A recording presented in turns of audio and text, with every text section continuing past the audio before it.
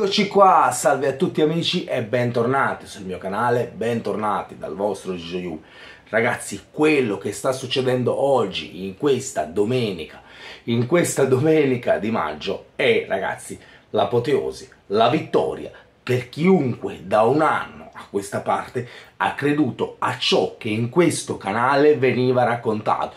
Per chiunque di voi abbia creduto in questo canale, per chiunque di voi abbia sostenuto questo canale. Perché ragazzi è un anno un anno che si racconta di un racconto mediatico falso e fallace.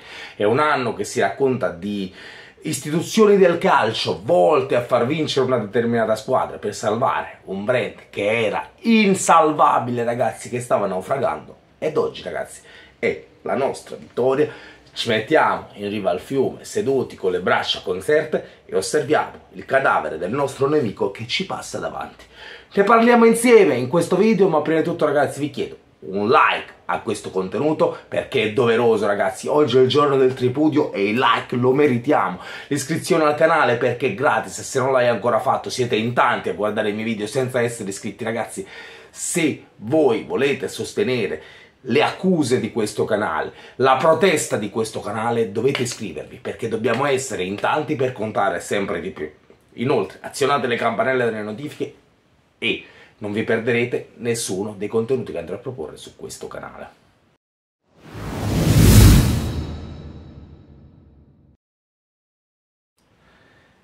Eh ragazzuoli e ragazzuoli, nella giornata di ieri, sabato 18, c'è stata davvero la svolta la svolta epocale perché ragazzi, ciò che io vi stavo raccontando da giorni, erano giorni ragazzi, forse mesi che vi dicevo, il racconto dei media non regge, le cazzate della gazzetta vengono meno, anche loro fanno fatica a crederci, anche loro non ci credono più.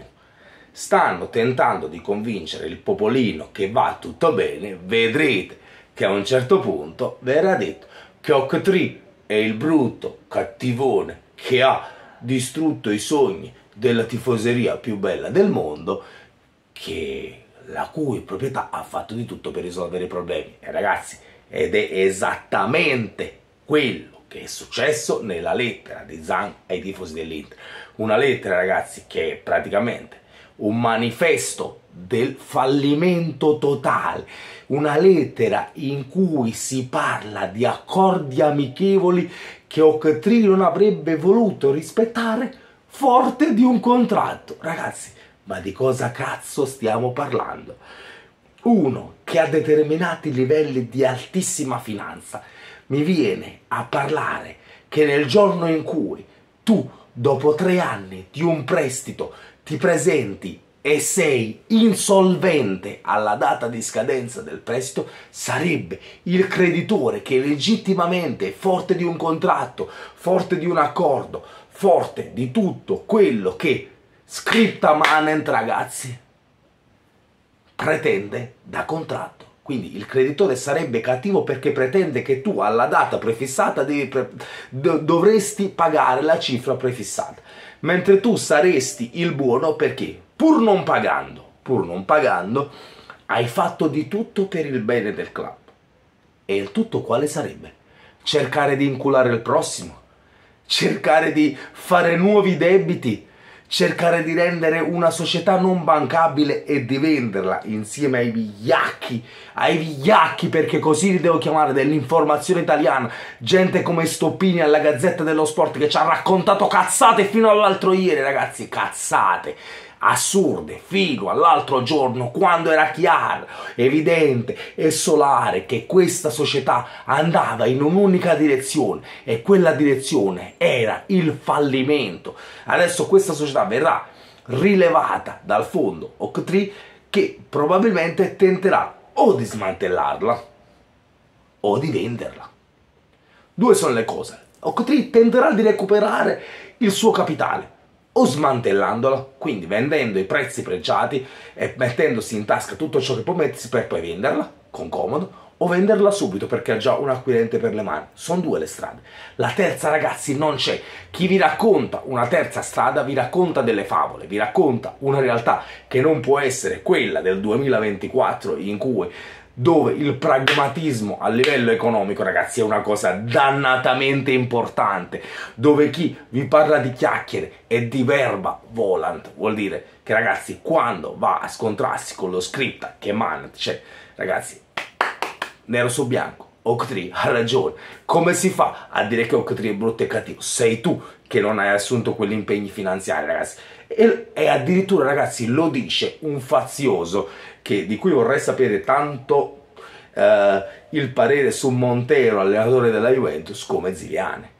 Poi un anti-juventino, lui, lui non è a differenza di, del suo compare con cui ho scritto il libro a quattro zampe, interista, lui probabilmente è tifoso del Napoli o comunque del Cervia, che sarebbe la squadra perfetta per lui.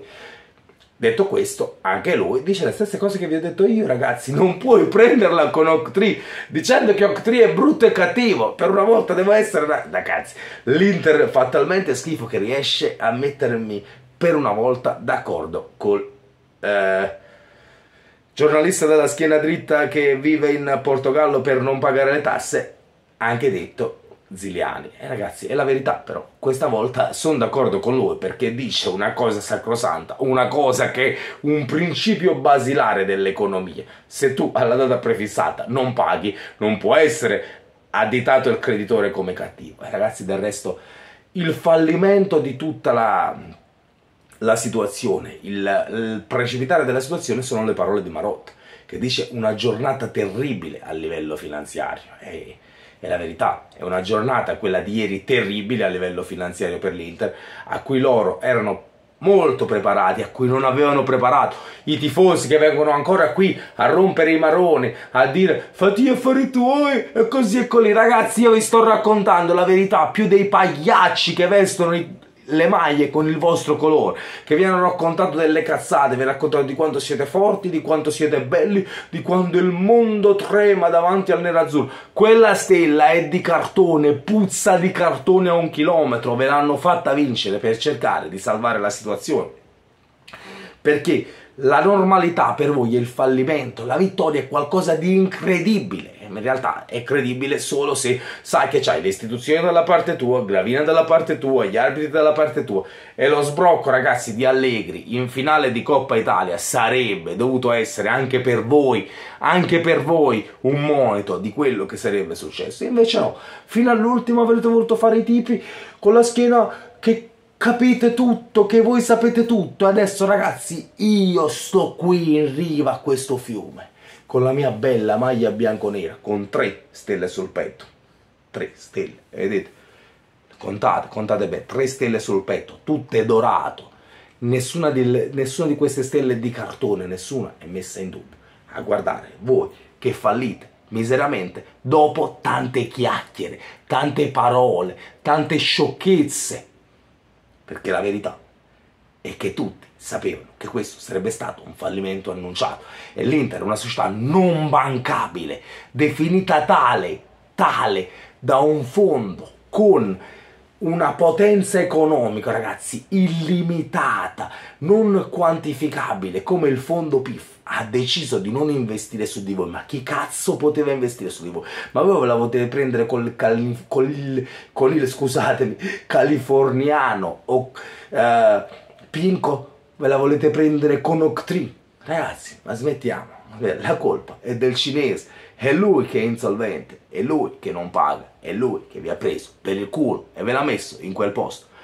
Massima condivisione di questo video ragazzi perché la testimonianza della nostra vittoria deve essere portata a tutti i livelli e soprattutto ragazzi e soprattutto condivisione di questo video e commento, il vostro commento che è sempre fondamentale, è sempre il sale di questo canale ed è sempre uno spunto per il sottoscritto per la creazione di nuovi contenuti.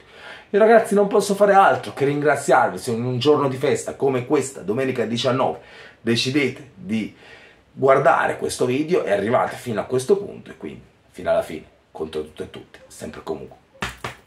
Forza Juventus e Inter merda, falliti, sempre, comunque più che mai di cartone non bancabili.